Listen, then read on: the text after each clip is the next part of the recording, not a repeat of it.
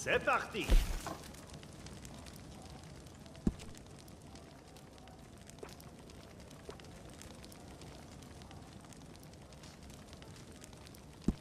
Hmm. There are things you could do to lower the price, huh?